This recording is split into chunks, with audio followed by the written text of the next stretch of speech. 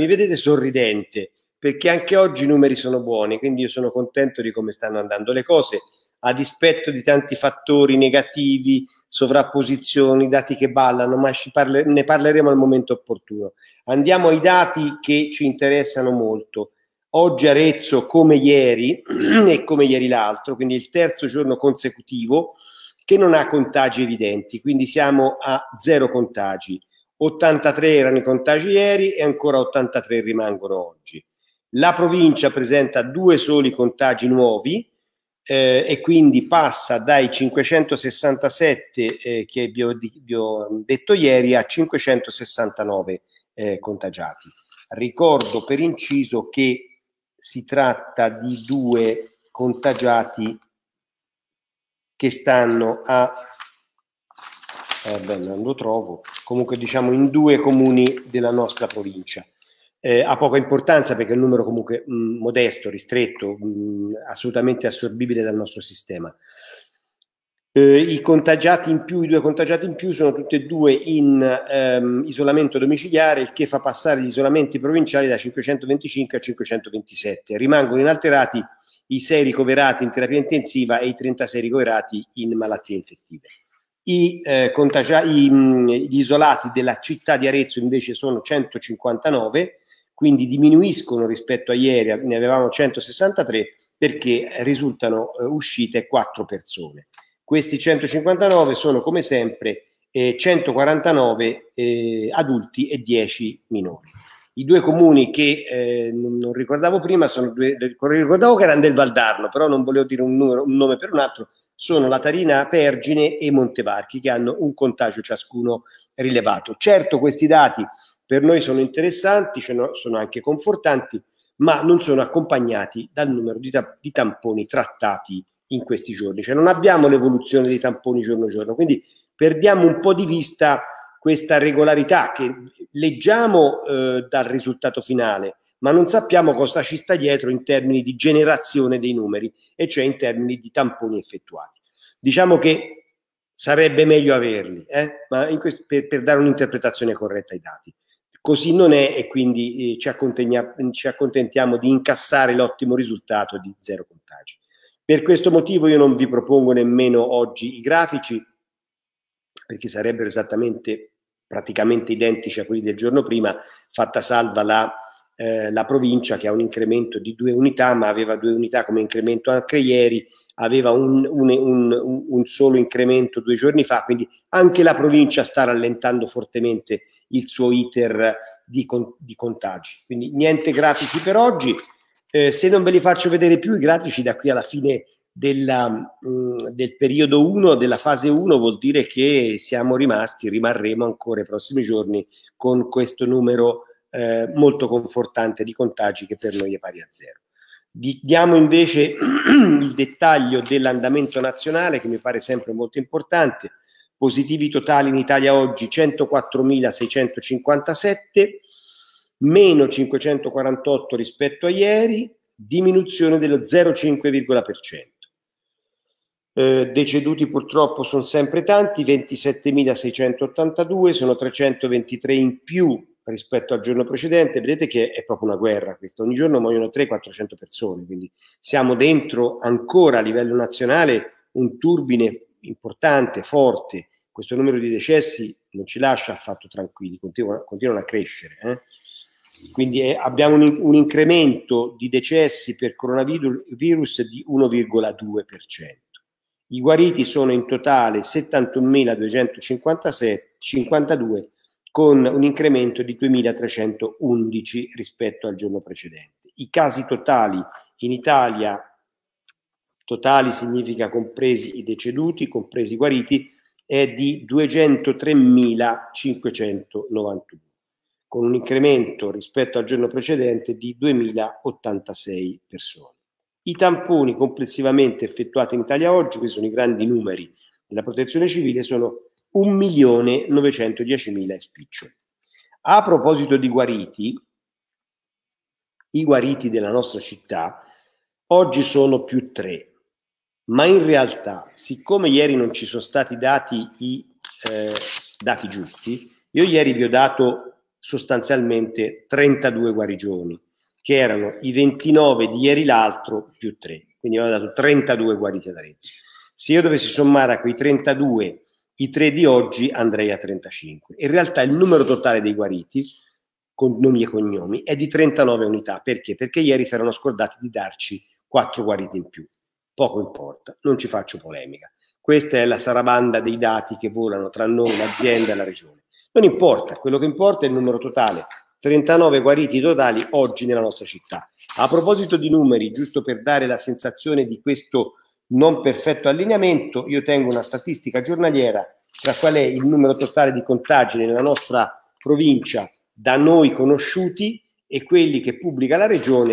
Lo scollamento oggi è di 52 unità. Secondo noi, come vi ho detto prima, i contagiati provinciali sono 569, secondo la regione sono 621. Bontalone. C'è una, uno scollamento, uno, uno scostamento di 52 unità. Ora, questo, al di là della incertezza sui numeri, no? che ci dispiace dare rilevanza a queste discordanze, per me sindaco assume un ruolo fondamentale, correggerlo, perché nella fase 2 il Premier Conte ha detto con chiarezza, l'ha ripetuto anche ieri quando era a Genova all'inaugurazione, all'inaugurazione al varo dell'ultima campata del ponte sul Polcevera, che nella seconda fase lui opererà un controllo nei vari territori. Eh, ha parlato di rubinetti che si aprono e si chiudono e quindi se in un territorio i numeri non sono quelli che ci attendiamo che debbano essere, quindi se i contagi aumentano, i contagi che aumentano lo vediamo dai numeri, eh, lui richiude alcune attività che sbloccherà invece il 4 di maggio. Ora, se le attività devono essere sottoposte ad apertura e chiusura come i rubinetti, in funzione dei dati rispetto ai contagi, io esigo che i contagi siano esatti all'unità, non approssimati in qualche maniera. Quindi da qui al 4 di maggio ci sarà un lavoro di affinamento tra l'azienda, il comune la regione che mi auguro arriverà alla fine a definire un sistema di veicolazione delle informazioni univoco e non splittato in due come oggi. Anche se oggi a noi fa comodo che sia così, perché io vi do sempre i numeri riferiti agli stessi intervalli temporali e quindi le variazioni che vi do io sono variazioni vere rispetto al tempo, al di là di quello che è il numero totale. Detto questo e fatta l'opportuna precisazione per quello che riguarda i casi nazionali, farei passare, chiederei alla regia a Marcello Comanducci di farci passare il video del drone rispetto al quale faremo qualche commento sull'attività della Polizia Municipale in città in questa giornata, che si è caratterizzata da una prima parte eh, decisamente piovosa e difficile da, da effe per effettuare i controlli, ma anche sicuramente eh, che non ha incentivato le persone a uscire di casa, a un pomeriggio invece tutto sommato solatio e, eh, e, ben eh, diciamo, eh, che, che ci ha reso possibile uscire di casa e fare quei due passi che invece ancora non possiamo fare. Allora, la Polizia Municipale oggi ha controllato 110 persone, quindi numero molto elevato, eh, controllando 102 autocertificazioni. Ricordo sempre che quando si esce di casa bisogna avere un motivo per poter uscire e bisogna eh, dare una eh, giustificazione alla propria presenza fuori dalle mura domestiche. Eh, e infatti sono state fatte due sanzioni ma anche due denunce. Due denunce, 17 ehm, contravvenzioni al codice della strada e sono stati trovati due veicoli senza assicurazione. Il totale delle sanzioni sale a 223 che era portato ai 4.809 controlli da una percentuale di ehm, eh, di infrazioni del 4,7%. Il drone, lo vedete in questa immagine, si è mosso nella zona della Marchionna, al Prato, nella zona di Trento Trieste, in via Anconetana, in Piazza Grande. È stato fatto un intervento a Campo di Marte per sedare e comunque per identificare e sanzionare una rissa tra extracomunitari. Purtroppo ho visto anch'io il video, una, una cosa molto brutta, nel quale la polizia locale è intervenuta insieme alla polizia di Stato e ha fermato, identificato e sanzionato, credo anche denunciato, due persone. Sono stati controllati tre autobus di linea, eh, due parrucchieri, quattro bar e tre farmacie e sei supermercati. Quindi eh, c'è stato un controllo massiccio quest'oggi del territorio e, ehm, e sono stati effettuati, come vi avevo eh, anticipato ieri, i tamponi allo stadio con il sistema drive-thru. Quindi la nostra polizia locale è fortemente impegnata. Io in questo momento faccio un ringraziamento particolare a tutti gli uomini e le donne della polizia municipale che in questi giorni non conoscono sosta, non conoscono tregua. Magari voi li vedete anche poco perché giustamente siete in casa e non li vedete, ma vi garantisco che fanno un servizio puntuale. Non sono tantissimi, quindi non è facile a stare dietro a tutto e si muovono molto spesso quasi su chiamata, perché ci sono interventi di cittadini che riprendono fotografie che mandano direttamente al comando, molti le mandano a me, io le rigiro al comando che invia pattuglie motorizzate o in autovettura o più spesso perché più agili, più veloci eh, con le motociclette. Non è un lavoro semplice quello che fanno i nostri vigili, ma è un lavoro assolutamente meritorio che io mi sento di ringraziare a nome di tutta la città. La segnalazione che mi viene, diciamo, generalmente dagli agenti della polizia locale è un maggior rispetto della distanza sociale. Le persone eh, temono, insomma, non temono troppo di stare vicine. C'è questa benedetta raccomandazione di stare a un metro e ottanta l'uno dall'altro e soprattutto di indossare le mascherine coprendo anche il naso, cosa che molti non fanno perché siamo abituati da sempre a respirare col naso, questa patacchina davanti alla faccia ci dà fastidio e la abbassiamo, non serve più a nulla, è inutile metterla, la dobbiamo mettere e tenere sopra il naso e la bocca. È un piccolo sacrificio che però porta risultati positivi. Allora io direi a questo punto di introdurre il nostro ospite, che è il dottor Becattini, che è il direttore del SERD, quindi del servizio disabilità dell'azienda eh, sanitaria della nostra zona, il dottor Marco Becattini, che io saluto. Buonasera dottore. Buonasera Silvio.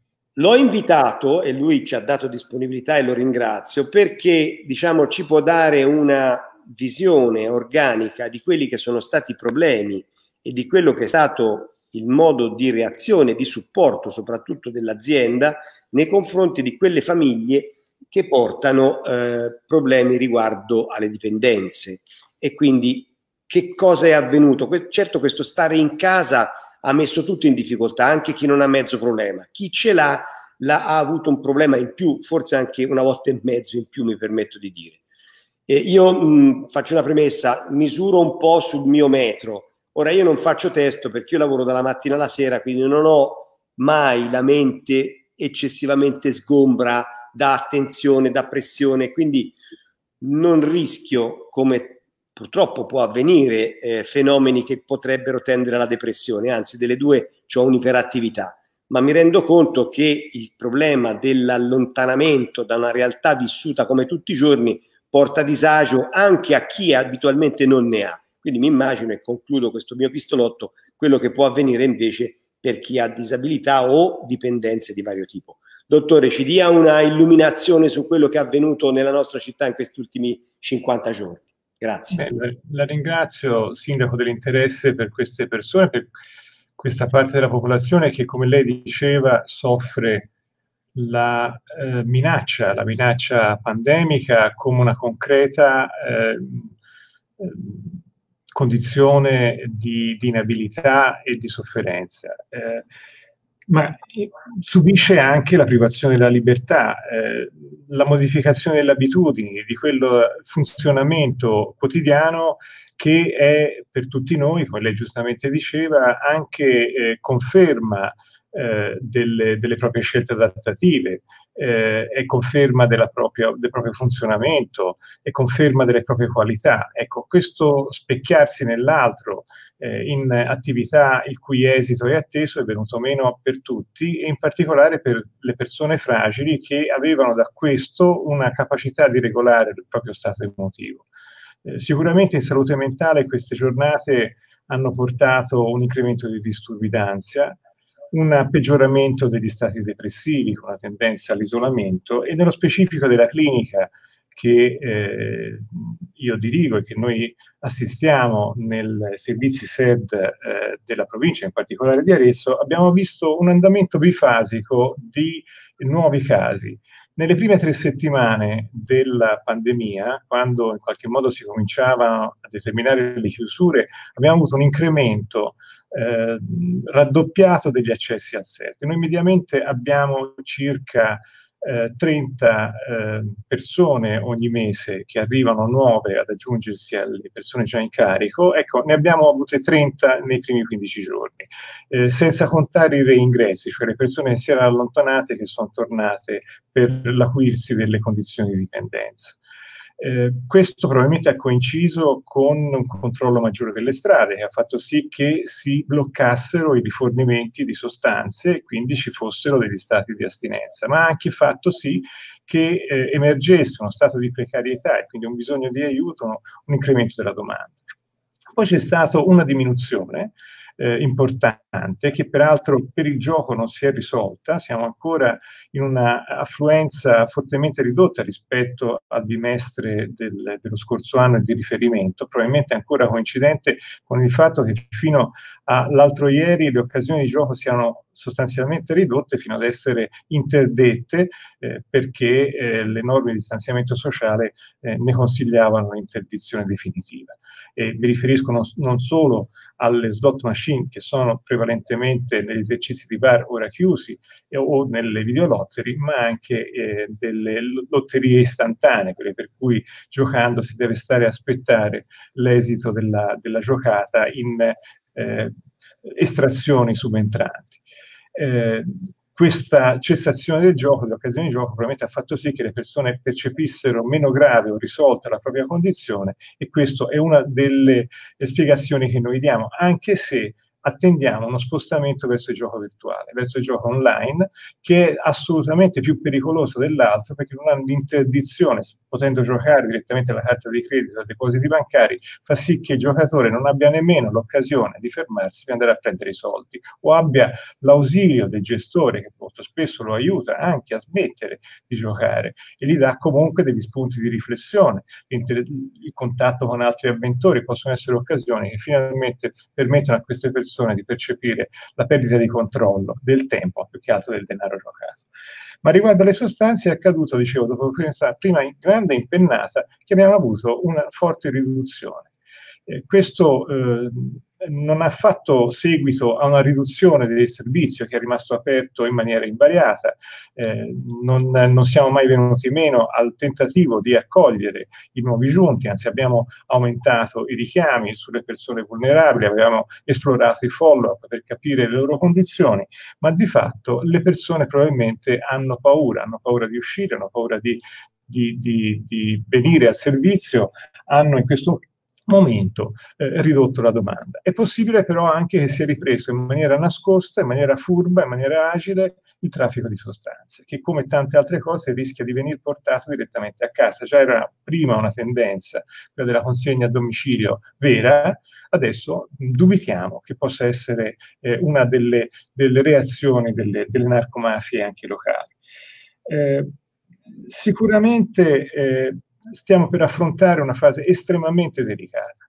Le persone soffrono la perdita di libertà, per, soffrono l'allontanamento dai propri costumi, dalle proprie abitudini, eh, soffrono fortissimamente l'allontanamento, penso ai giovanissimi, dalla scuola, dall'occasione di rinforzo e di contatto col gruppo, eh, ma sono stati anche interrotti nel loro percorso di abilitazione, di formazione e non sappiamo bene, e dobbiamo invece saperlo, come ripartirà tutto questo.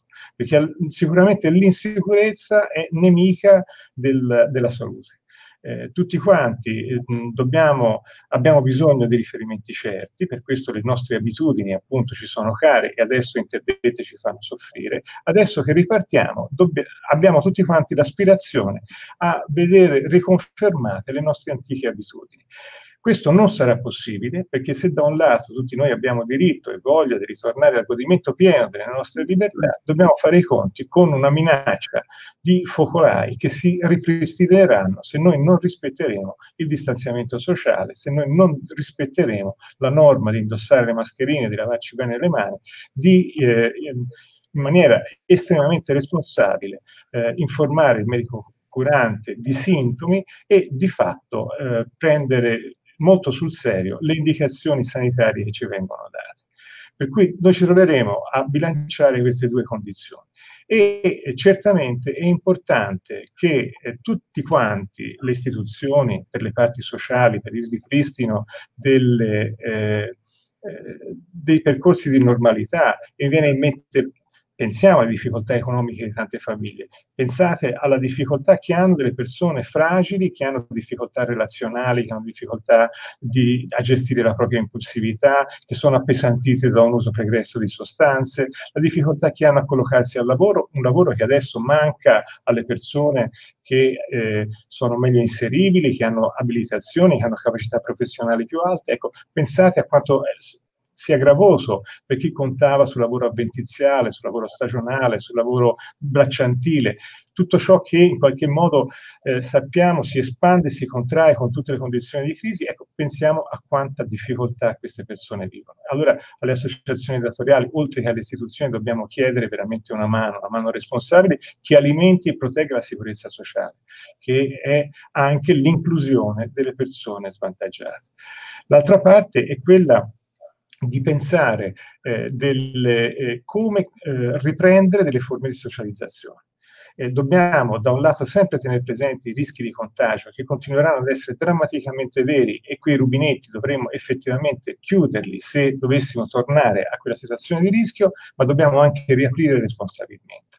Ecco, per tutto questo ci deve essere un patto di alleanza forte con i cittadini che devono essere prudenti, con le istituzioni che devono riaprire e creare nuove occasioni di inserimento lavorativo, di, di inserimento eh, culturale, ricreazionale, per rifrequentare in maniera protetta eh, i parchi, i luoghi pubblici e con la sanità che deve attrezzarsi anche innovando. In questo momento stiamo sperimentando televisite, eh, psicoterapia al telefono, cose che soltanto qualche mese fa ci sembravano eh, impossibili e adesso le troviamo anche per esempio nella dimensione gruppale. Stiamo costruendo delle piattaforme dove le persone possono finalmente incontrarsi e riprendere una presentazione gruppale, questo sostegno che è il gruppo di eh, persone di automutuo aiuto eh, che eh, facevamo al SET, che facevano le associazioni di automutuo aiuto, ecco, lo stiamo sostenendo in maniera innovativa, però dobbiamo veramente tutti quanti fare la nostra parte.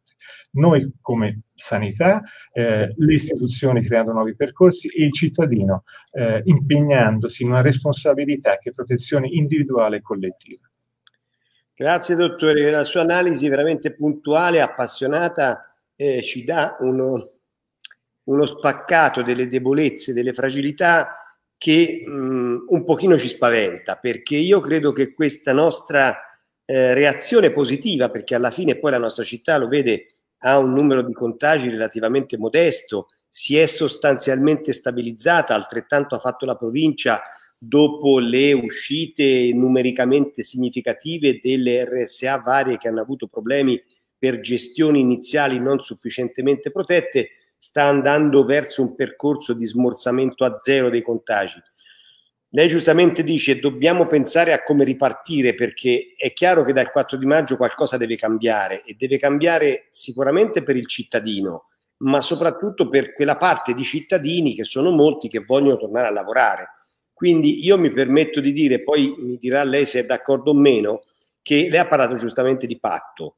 Bisogna che il cittadino si renda conto che ancora siamo dentro il problema e che quindi mantenendo la distanza sociale, portando sistematicamente la mascherina, lavandosi periodicamente le mani, mette in atto le più importanti metodiche per tenere il virus lontano, anche se lui è impegnato in un'attività lavorativa, perché poi alla fine eh, si diceva scherzando una volta il lavoro nobilita l'uomo, ma è proprio vero che lo nobilita, nel senso che gli dà tutta una serie di motivazioni. Che ne pensi? Assolutamente, assolutamente sì.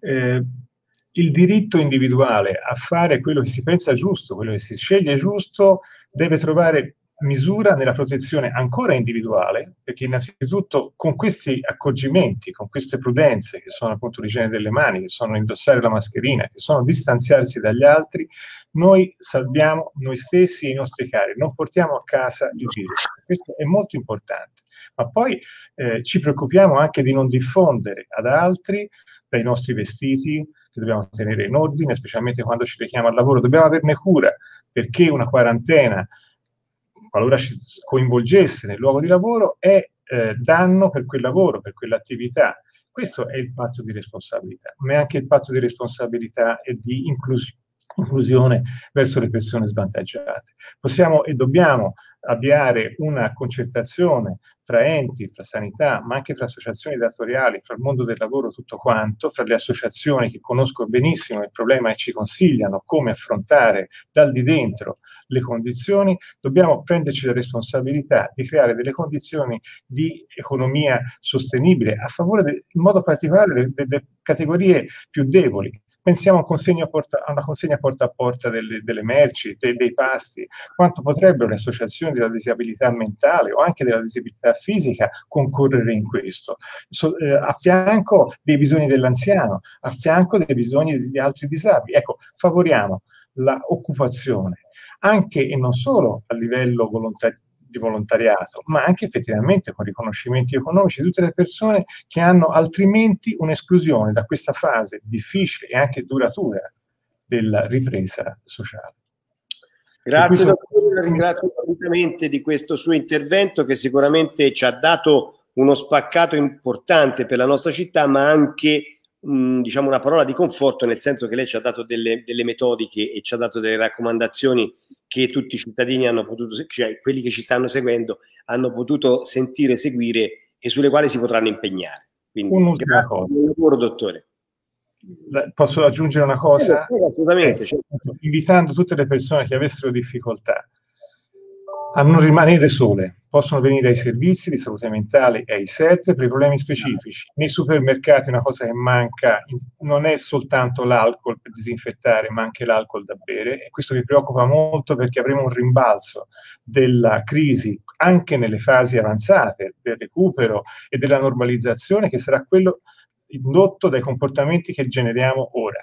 C'è un rischio Covid, ma continua ad esserci un rischio della sofferenza umana. Se avete difficoltà, chiamateci, i nostri numeri sono sempre aperti, li trovate tranquillamente al centrino della USL, venite a trovarci rispettando il distanziamento e prendendo appuntamento perché si possa accogliere tutti. Grazie dottor Becattini, buon lavoro. Arrivederci, grazie.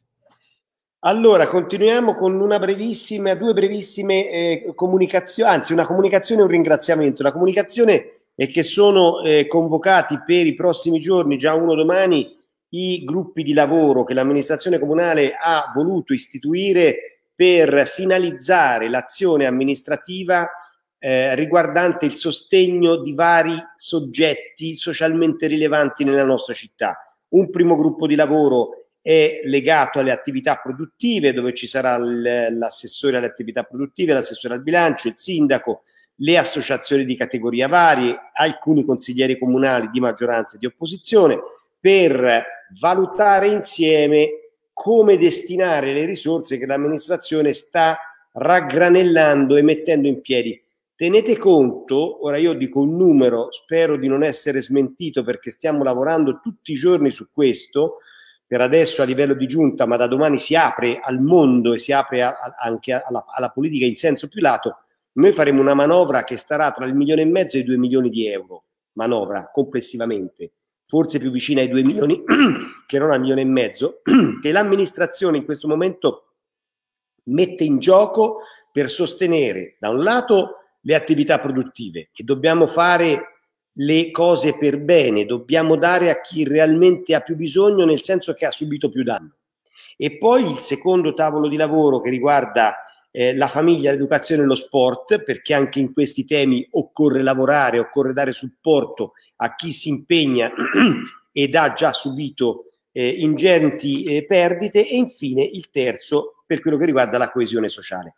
Una manovra, vorrei, voglio sottolineare, mi piace dirlo, che non è un sasso in piccionaia.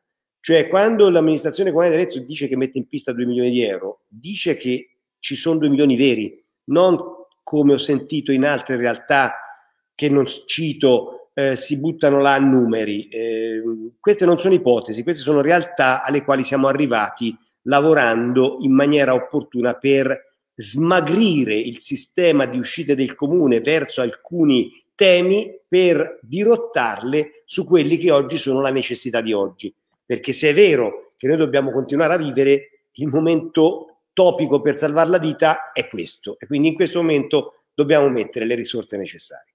Il secondo, ehm, che non è più una informazione ma è un ringraziamento, è alla ditta Petrarca Confezioni per la donazione di mille mascherine alla nostra polizia locale. Io ho finito, chiamerei in studio Barbara Bianconi per le domande dei giornalisti. Sì, eccoci. Eccoci, Sindaco, sì, c'è qualche domanda anche questa sera. E la prima, eh, riassumo e riunisco la domanda di due giornalisti, Giulio Cirinei Arezzore e Gino Perticai Ortica, perché l'argomento della domanda è lo stesso, ossia l'ordinanza numero 45 firmata oggi dal governatore Rossi che autorizza di fatto passeggiate all'aria aperta o in bicicletta, ne avevamo anche un po' anticipato ieri, purché si resti all'interno del comune di residenza, autorizza ad uscire insieme i conviventi, i genitori con i figli minori o da parte di accompagnatori di persone non completamente autosufficienti. Insomma, ci sono alcune caratteristiche eh, descritte più puntualmente in questa ordinanza. Allora, Perticai chiede quali sono le disposizioni nel nostro comune, Cirinei chiede di spiegare chi può uscire e in particolare chiede nucleo familiare se può uscire, possono uscire tutti insieme, se si può spostare ovunque all'interno del comune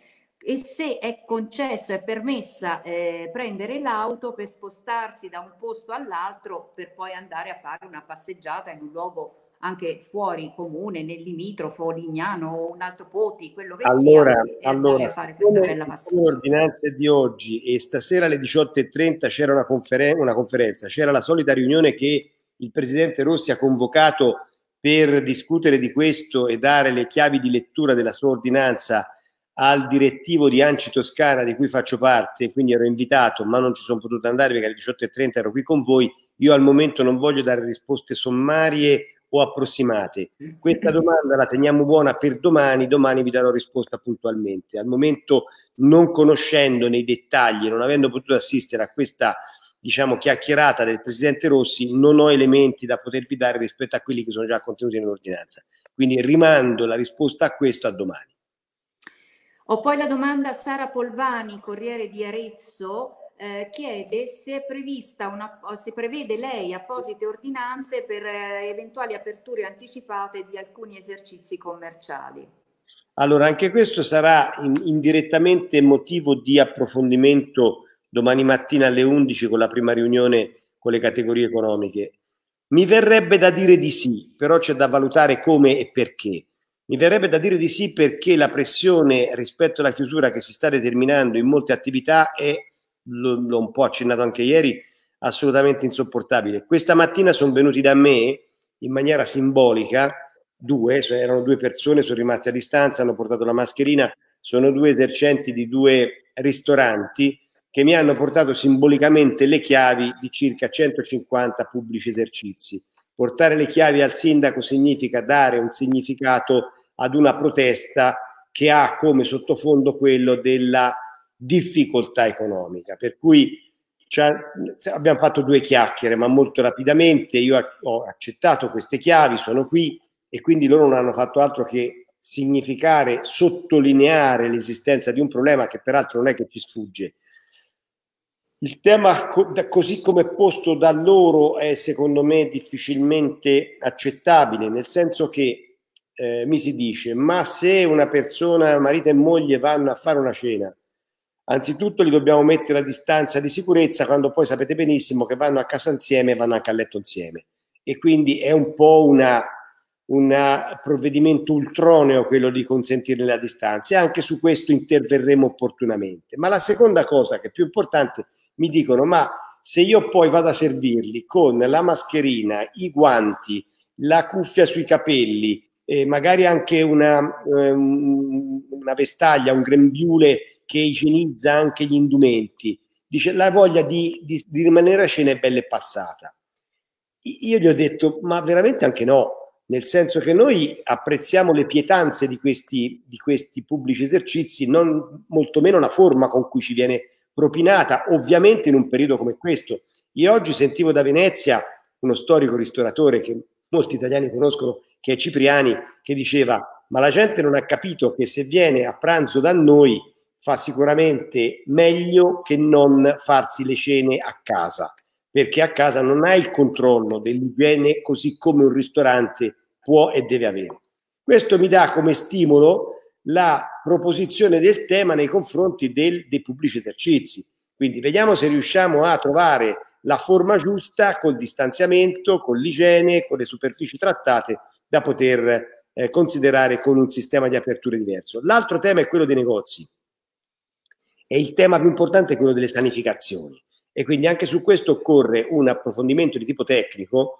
Io mi sono fatto mandare vari eh, tipi di macchinario che inseriti in un ambiente di varia metratura ogni due ore possono, in assenza di persone, essere accesi e in pochi minuti, si parla di una decina, 15 minuti, sanificare, sanificare aria e superfici. Ci sono vari metodi per farlo, di tipo chimico, di, di, di tipo chimico e fisico. Bene, se ci si riesce a dotare, magari anche con l'aiuto dell'amministrazione, i negozi di questo, forse i negozi possono aprire. Cioè non vedo la necessità tassativa di mantenere, vista la scarsa presenza del virus nella nostra città, chiusure diciamo apodittiche di questo tipo. Però bisogna ragionarle, bisogna approfondire, bisogna trovare la giusta medicina per la corretta malattia. Cosa vuol dire? Vuol dire le sanificazioni, le distanze, le mascherine continueranno a convivere con noi a lungo, ma se impariamo a usarle bene probabilmente ci salvano anche la vita in termini economici. Un'ultima domanda da Greta Settimelli Arezzo TV, eh, chiede un suo commento su quanto accaduto questa mattina a Campomarte, che peraltro lei ha già accennato eh, parlando dell'attività della Polizia Municipale. I cittadini chiedono un intervento forte delle forze dell'ordine e delle autorità, in primis proprio quella del sindaco. Allora, io ho visto, ho visto queste immagini e ne sono rimasto disgustato. Per la violenza che vi si è potuta leggere, che non è giusto che in una città pacifica e tranquilla come Arezzo abbia luogo, e secondo perché chi perpetrava questa violenza non aveva la mascherina. Cioè, purtroppo gli extracomunitari sono, hanno preso questa abitudine di andare in giro, molti di loro, non tutti per fortuna, di andare in giro senza mascherina.